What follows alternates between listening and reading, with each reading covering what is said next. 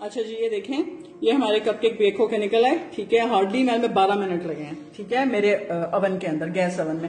अब आप देख लें, जिन कप कपकेक लाइनर्स को मैंने थोड़ा ज़्यादा फिल किया था, वो इस तरह की लुक दे रहे हैं और इनके ऊपर जो मैंने आपको एक्सप्लेन किया था क्रैक आएगा, ठीक है? ये जो क्रैक की लुक आ रही है, ये कोई खराबी नहीं है। और ये देखें, मेरे कपकेक चेक करने का तरीका मैं चेक करती हूँ, ऐसे मैं कोई टुथपिक्स नहीं इंसर्ट करती, हर एक का अपना तरीका है।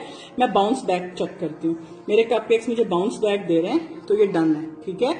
हर एक की अपनी लुक है। जी ये मेरी बटर स्कॉच सॉस है, जो मैंने अभी चूल्हे से उतारी है आपके सामने गरम गरम इसको मैं आपको चेकिंग के लिए लेके आई हूँ यहाँ पे। ये स्लैब है मेरा, मैंने यहाँ डाल दी, ठीक है? अभी से मैं यहाँ पे पड़ा रहने देती हूँ। फिर मैं आपको थोड़ी सी ठंडी होती है तो मैं चेक कराती हूँ कि मैं इसकी चेकिंग कैसे करती हूँ। मैं अपनी लेमन कर्ड की चेकिंग भी ऐसे करती हूँ, मैं कैरेमल सॉस की चेकिंग भी ऐसे करती हूँ। इसको इंटरनेशनल मार्केट में बोलते हैं इस मतलब जो मैंने कुकिंग किया ना, ये एक तरह की कैंडी है। तो कैंडी थर्मामीटर्स के थ्रू इंटरनेशनल बेकर्स इनकी चेकिंग करते हैं। लेकिन उन्होंने ही आसान तरीका बताया हुआ है soft ball stage hard ball stage thread ball stage ठीक है? तो ये हमें सॉफ्ट स्टेज चाहिए, जो कि मुझे ड्रिजल करना है। ये देखें, ये चीज़ आपको फील हो गया होगा। मेरी उंगली से ये ड्रिप नहीं कर रही, ठीक है? मुझे ये कंसिस्टेंसी चाहिए अपनी बटर स्कॉच सॉस की सी। ये चीज़, मेरी चेकिंग ऐसे होती है। ये बिल्कुल राइट है। अच्छा जी अब ये देखें हमारी सारी चीज़ें आपके सामने। जो कपकेक बेक किए थे जो बटर क्रीम बनाई थी जो हमने गनाश बनाया ठीक है और जो ये बटर स्कॉच सब कुछ फ्रेशली मेड है अब आप सोच रहे होंगे कि ये क्या है? ये दूध है प्लेन दूध ठीक है? ये क्या करना है मैंने? जैसे मैंने आपको एक्सप्लेन किया था कि ये पीनट बटर कपकेक्स हैं पीनट बटर कपकेक्स हैं तो इसके अंदर ज़रा पीनट बटर की वजह से भी ना एक हार्डन सी लुक आ जाती है ठीक है? आ, आपको अगर करना है मुझे जैसे इसकी क्रिस्पी टोन पसंद है जो मैंने आपको बताया था क्रैकी जैसे अक्सर ब्राउनी पे एक फ्लेकी टॉप आता है ना मुझे इसकी भी इसी तरह से पसंद है। लेकिन आ, मुझे लगता है कि एक्सप्लेन कर देना ज़्यादा बेहतर होता है। अगर आपको लगे कि आपको क्रैकी इस तरह की टॉप नहीं चाहिए थोड़ा इसको मॉइस्चर करना आप चाहें जैसे हम केक को मॉइस्चर करते हैं तो आप अपने कप केक्स को इस ब्रश की मदद से प्लेन दूध से ऐसे मॉइस्चर कर सकते हैं ठीक है? ये ऑप्शनल है इन केस अगर आपको लगता है ठीक है? अगर आपको नहीं चाहिए तो आप मत करें। सारे एजेस के ऊपर ओवर नहीं ओवरफ्लो नहीं कर देना कि आपने इसको गीला ही कर देना दूध से, ठीक है? सिर्फ़ अगर आपको लगता है कि आपको थोड़ा सा सॉफ्ट चाहिए तो ये भी आपका, कुछ मैं इस तरह करूँगी, कुछ आपके सामने मैंने आपको बता दिया। अभी हमने क्या करना है? आपकी मर्ज़ी है, आप चाहते हो ये दोनों चीज़ें आपको नहीं चाहिए, सिर्फ़ प्लेन कपकेक चाहिए तो आपका कपकेक रेडी है। Peanut butter cupcake peanut butter frosting frost करें स्प्रिंकलीज डालें फॉन्डेंट के टॉपर्स लगाएँ कपकेक करें। अगर आप चाहते हैं आपको इसको सेंटर फिल करना है, आप इसके अंदर अपने इसी चीज़ से सेंटर फिल करना है तो अपने नोजल जो आपकी कोई सी भी, इससे आप इसको कोर करते हैं। ऐसे, ठीक है? कोरर भी मिलते हैं, लेकिन मैंने जैसे पहले भी कहा था, जो काम आपका इजीली हो सकता है आसानी से, आप उसे कर लो। निकल आया? इसको भी हमने वेस्ट नहीं करना। आप इसका टेक्सचर देख सकते हैं मेरे कपकेक का, ठीक है? आपने इसको वेस्ट नहीं करना, इसको हम निकालेंगे, हम इसको फिल करेंगे किस तरह? अगर आप चाह रहे हैं तो हल्का सा गनाश ठीक है? ये आपको मैं समझा रही हूँ ज़रूरी नहीं है कि आपने ये काम करना है। अगर आपका दिल चाह रहा है और आपको थोड़ी वेरिएशन लानी है अपने काम में तो ये आपने गनाश फिल कर दिया। आप बटर स्कॉच सॉस भी थिकन उसमें, इसमें डाल सकते हैं।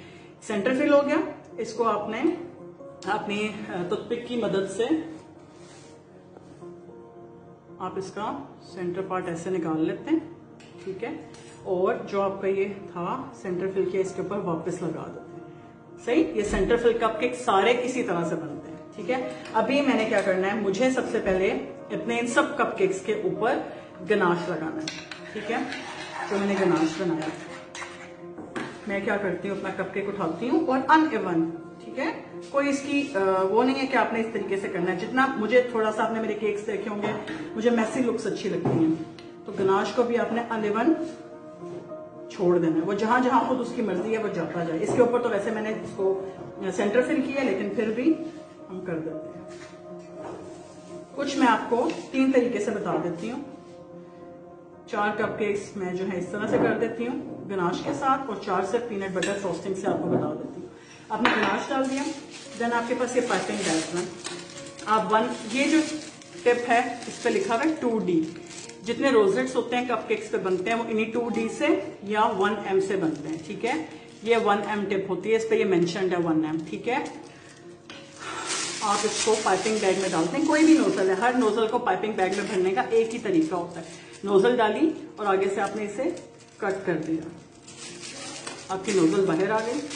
आपने इसको पीनट बटर क्रीम से फिल करना है। आप ग्लास रखें ग्लास के अंदर इसको रखें और फिर भी आप कर सकते हैं। मैं हाथ से करती हूँ, ठीक है? बटर क्रीम जो हमारी है लिया आपने।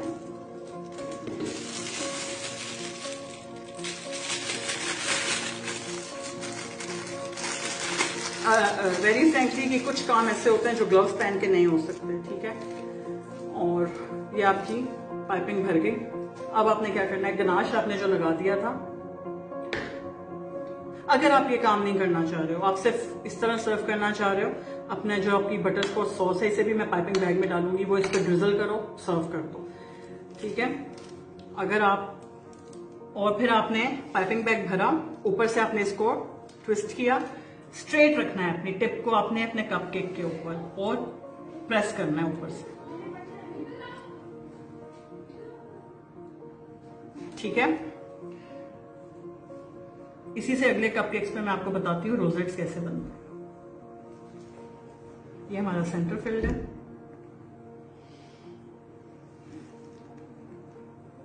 अब कंसिस्टेंसी देख रहे हैं बटर क्रीम की। ये वही बटर क्रीम है जो मैंने अभी आपके सामने बनाई थी।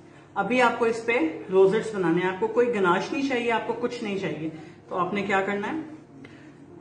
स्ट्रेट रखा। प्रेस किया। ये आपका रोजेट बन गया, ठीक है? स्ट्रेट रखा, थोड़ा प्रेस किया, फिर उसी के इर्द गिर्द आपने घुमा दिया। इसी टिप से आप और क्या कर सकते हैं?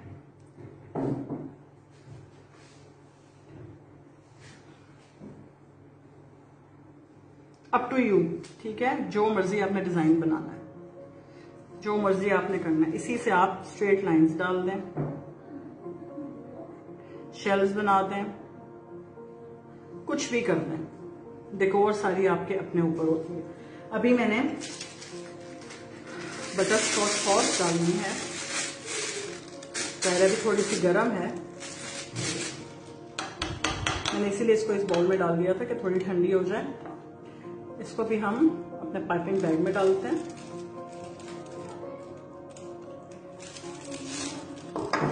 और फिर गनाश को भी आप इसी तरह डाल सकते हैं, ठीक है? और आप इसको फ्रंट से हल्का सा कट करते हैं। तो देख लेते हैं कितना कटा है, ठीक है? और जो आपने कपकेक बनाया है इसके ऊपर, आने वन सा टेक्सचर दे देते हैं।